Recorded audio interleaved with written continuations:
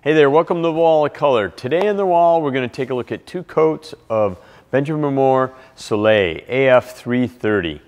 This color has an LRV of 79.4, so it's not a dark color, it's a really bright color. I think it's going to bring the sunshine into your home. This is a yellow color, and you always have to be careful with yellows in terms of coverage. We've talked about that in previous videos.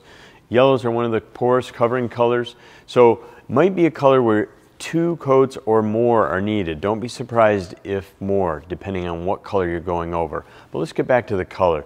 The color itself is really bright and I think is going to go great if you had white trim. So I see this as a classic color, both inside or outside your home. Benjamin Moore says a yellow that paints the picture of bright golden rays peeking through fluffy clouds. And certainly that's a vision of what it would bring into your home. So let us know your thoughts on what Soleil looks like to you and where you might use it at your house. And again, thanks for watching and please hit subscribe and like because it helps other people interested in color find us.